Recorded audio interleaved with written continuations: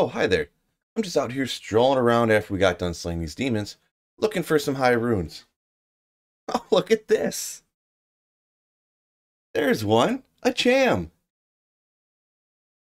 There's another one right there. A Ber rune.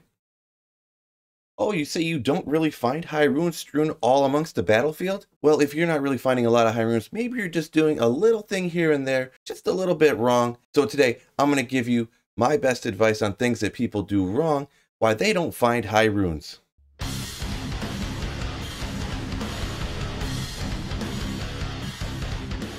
Now, everybody needs high runes for things like Enigma, or Grief, if you're making your Infinity for any of your caster characters. These high runes are so incredibly in demand. Everybody wants them, everybody needs them, but sometimes they're not exactly the easiest to find. But you do notice, I don't know if you ever uh, see this as well in different groups, it seems like the same people are always finding high runes, and maybe you're not. That's okay. There could just be some little stuff that you are doing a little bit wrong here and they're just limiting your opportunity in order to find them. So right now, we're going to jump into the first reason.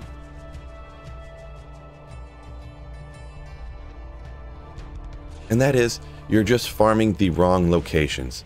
Now, there are some spots where you can get really good gear like your Shako, Arachnid's Mesh, Oculus, all this stuff for your Sorceress. You can get Arreat's Face for your Barbarian and all different kinds of things like that.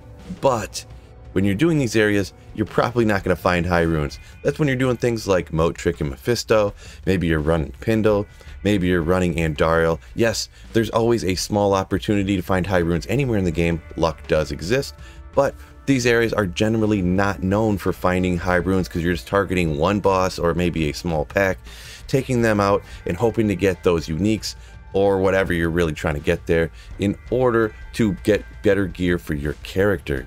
So I'm not saying you don't need to run these areas. They definitely have their purpose and they are definitely good areas. I run them all the time, I'm to be perfectly honest. But if you're doing these over and over and over and over and over and over again, you're not really to get hardly any high runes or maybe none at all in that manner.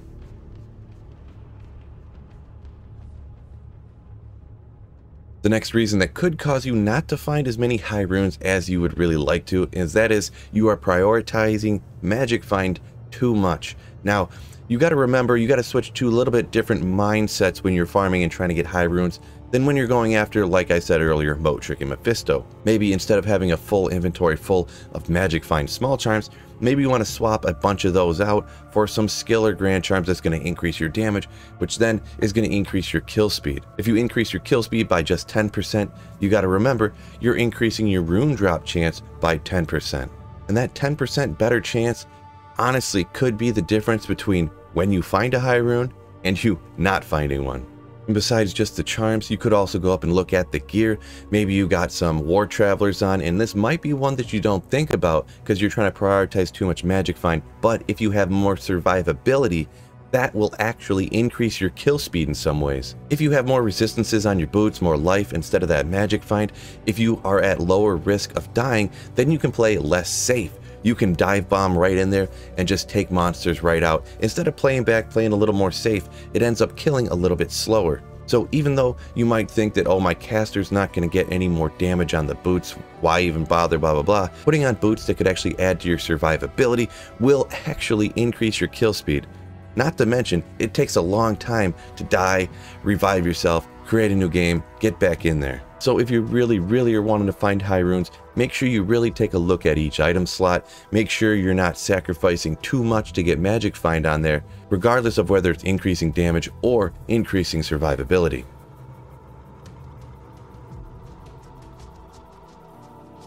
Next here is one that I really used to do all the time, and I still kind of do because I like playing with people online sometimes you know, getting out in the game, even just with random people. And that's it. You're playing in games and you're all doing the same objective and going out and killing monsters in the same place all at the same time. Now, I know this does seem a little bit off because obviously playing online, you want to play with people. And I get it. I do too. It is fun. And also when you're doing those chaos runs, those Baal runs to get experience, that is obviously a very good thing. But if you're doing that type of thing, eight people in the game, then you do know, and everybody kind of realizes this, you have to fight with eight people to try to grab the high rune that does drop, or maybe these other people are kind of carrying the game for you, the Hammerdin, the Javazon, and the Cow game, slaughtering everything super fast. So you got to make sure that you're not necessarily in a game where you're fighting with too many people in the same area, or maybe other people are just killing all of the monsters faster than you can. So another example of this, besides just like the chaos example where, you know, everyone's running through the chaos as fast as they can to get experience, so you're not able to grab the high runes. Another example would be, like I mentioned there, the Javazon in a cow game. Now, if you jump into cow games and everybody's laying waste to all the cows, let's say you do 80 cow runs in a week or something like that. Well, you didn't actually do 80 cow runs if you're only killing one eighth of the cows in that run. You really did 10 cow runs. And actually what you were doing was spending all your time going to the next game, waiting for someone to get the leg, waiting to make the portal again to get back in there. See, you're not actually doing a bunch of cow runs, you're doing a save and exit simulator. So make sure you don't fall victim to that one right there. What's kind of a better option for that is you'll see these quote unquote random MF games where one person will go off and run the pits, one person will make cows, one person will make chaos. So they're all playing in a game together. Y'all can communicate and stuff like that, but you all aren't fighting over each individual drop.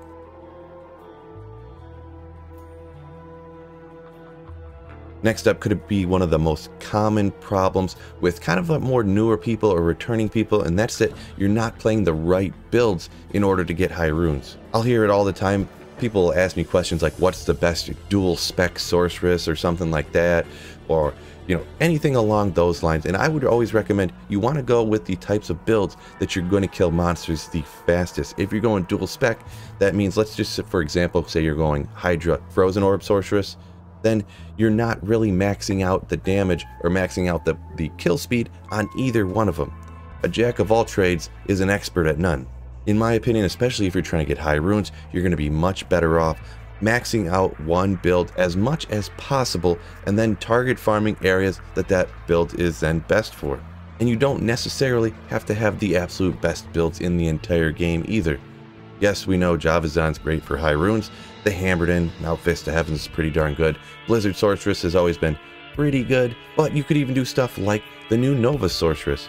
I got several high runes this ladder with using that Nova Sorceress and target farming specific areas that it would be good for for finding high runes, such as killing ghosts in different packs on going down to the Countess, hitting the ghost packs in the Arcane Sanctuary, and even you can go out to Tal Rasha's tombs or any of the places in Act 1, not even 85 areas, just the main thing is killing monsters as fast as possible. But if you're doing, like I said before, dual specking, you're rocking the Hydra Sorceress, yeah, Hydra is good, but you're going to be stuck killing things like just moat tricking Mephisto over and over again and stuff like that.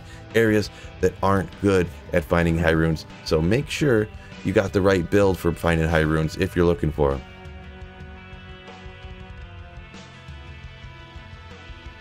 Up next could be probably the most prevalent, the most common one that I hear all the time, whether they're talking about just finding better gear or high runes, and that's it. People are just playing in games completely solo by themselves. Now, if you're online and you're playing solo, you are going to limit the amount of high runes you find by like one tenth. I don't remember the exact number. Editor Phil's gonna throw up here. We'll throw the drop odds on one of the most sought after high runes here. We'll go with the Ber rune. I'm gonna show it from players one difficulty and I'll show it next to players eight difficulty. So a full game. The drop odds are so much better when you have more people in the game. So if you're in a game solo by yourself, you're gonna have a real hard time at finding high runes. Now I know, like I said before, luck is luck and you definitely can. I even found a Vex rune just on a playthrough with a druid earlier in the year here, but it's going to be so astronomically small of an odds of something like that happening that you really can't count on it. You really, really, really are going to need to try to get into a game with more people. And now the last one here is going to get me a ton of pissed off comments down below, but it really is completely honest. You just really aren't playing enough time in order to find high runes. And I get it, I get it. The grass doesn't stop growing, you gotta get out and cut it. The kitchen doesn't clean itself. The kids won't stop whining at you. The wife won't stop bitching at you to go do stuff, fix this. The door's creaking, my tire's low. I get it, I get it. I really, really do. But Diablo 2 is not one of those super easy games that you don't have to put a lot of time into. You can just you know, sit down and not even really worry about it, smash a couple buttons for five minutes, and you got good gear and blah, blah, blah. It just really is not one of those games. The type of game Diablo is, it's where you play it, you play it, you play it, and you get super, super excited, mega hype when that sick drop comes, when you finally do find that item you're looking for. That's what makes the item finding in this game so rewarding.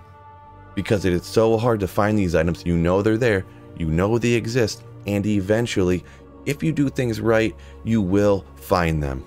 So you either need to play more time or just have more realistic expectations on what you're going to find so you don't get upset when you don't find this particular item, that particular item, this rune or that rune. You don't necessarily even need a bunch of high runes for a lot of builds to make the game super fun and to really get out there and absolutely slaughter monsters. But obviously, it'd be a lot cooler if you do have those high runes. Alright, so now you're finding high runes. Why don't you check out this video right up over here to help you find that SOJ that you've been looking for for a long time.